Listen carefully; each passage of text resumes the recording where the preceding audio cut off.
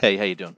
Okay, in this video, we're going to quickly demonstrate uh, an option for uh, your site buildings. Okay, so the stuff that you're not actually developing, it's the the, the backdrop, you know, low level resolution, uh, or even for scheming a site. Okay, so if you're you're trying to see how many houses you can get onto a development or how many buildings or whatever, this is a, a decent option for low resolution, low level of detail. Okay.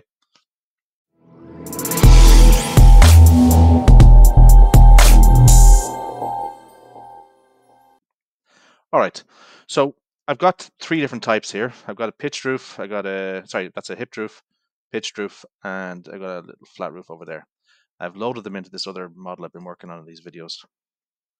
Okay, there they are. So pitched, hipped, and flat roof. Okay, now here's what it is. So what I've done is I've made generic model families for each of these types. Okay, and the one of the reasons I think that works very well is because generic models they join. Okay, they can join to uh, to most system families, and they, they join to each other, whereas other categories don't necessarily. Okay, so I know you, there's a bunch of ways of doing this. By the way, you can you can use masses. You know, there's there's, there's mass families. You can load them in, and you can do the same thing more or less. Uh, for me, this is a decent, uh, very controllable, with a you know, kind of a notch up in the detail and options. Uh, like the paths there, you can see you can turn them on and off, and uh, the the soffits can get deeper and fascias can get higher, and all that stuff, right? Uh, for me, this is a, a very good solution for for that uh, scenario. Okay, I'll just quickly demonstrate it. So, right. So on the ground floor plan, uh, this is the flat roof guy over here. I'll just maybe throw that around the back and join it. Okay, this one is the hipped. Uh, let's just put that beside the building there. Okay, and I'm going to create another one. And I'm going to,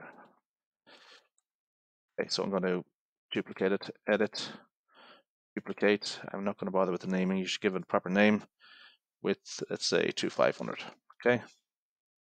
Okay. And I'm going to just put that in the front there, like a, like a bay window.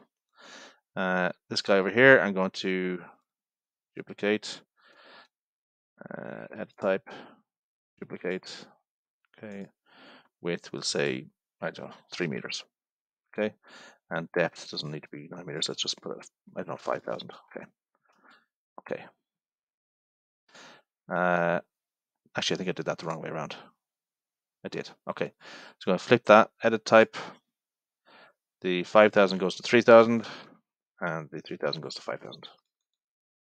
Okay, and rotate it 90 degrees and stick it in the front. Maybe I'll align the front line with the bay window.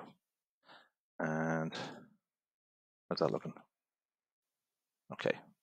And maybe I'll put a lean-to roof. So this is the other thing. So we can even with just that same family, the, the double pitch, you can, if you join it the right way, you can have a lean-to roof. So if I rotate that 90 degrees and edit type, duplicate. Okay, I'm going to give the width maybe to 500. Okay. And back in the same building line there.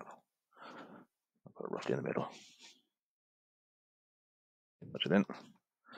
Okay. That's too far out, I think. Let's put that in a good deal more into 3D. Okay. Uh, oh yeah, so that one's got the wrong height in the edit type. But the soffit height, or the soffit, let's say 2250. Okay. Okay. Right. All right, you can see how that's already producing something of a fairly decent level of detail. Join. I'm going to join multiple join building to all of these guys. Again, that's part of the beauty of it. And there we go. Now, if this was a development and you wanted multiples of this house on it, so this is for scheming, let's say, you could simply, you don't have to make a, a, a family for that house type. You can you can just select it, create group, call it something proper, and in your architecture tab, I can just uh, model group, place model group, select the one I just made, and you can plop that around your site. Right? Cool, huh? Now, there are a bunch of ways of going about this. I've I've controlled it with the width and depth and soffit depth and fascia height and roof pitch. Okay, so my overall height, if I select that family, is a calculation uh, with with some trigonometry with the you know the pitch of the roof and the the width and all that stuff. Uh, so you could control it a different way. You could go by height and then the, say the pitch is calculated by the height or whatever. So uh, that's it, guys. Uh, I hope that was useful. Um, if I didn't show you, I didn't go through the process of making it, but if you do want me to do that, I'm willing. Uh, just pop some messages in there into the video, and we'll have a look at it when I get a chance. Uh, but maybe for some of you, that's the, just the idea is enough. Okay. Uh, appreciate that. The watching, guys. Uh, if you've subscribed, you appreciate it. If you haven't, click the button, and the, the likes are appreciated too. So like, subscribe, and comment, and all that stuff. All right. Listen. Have a good day. All right. Thanks.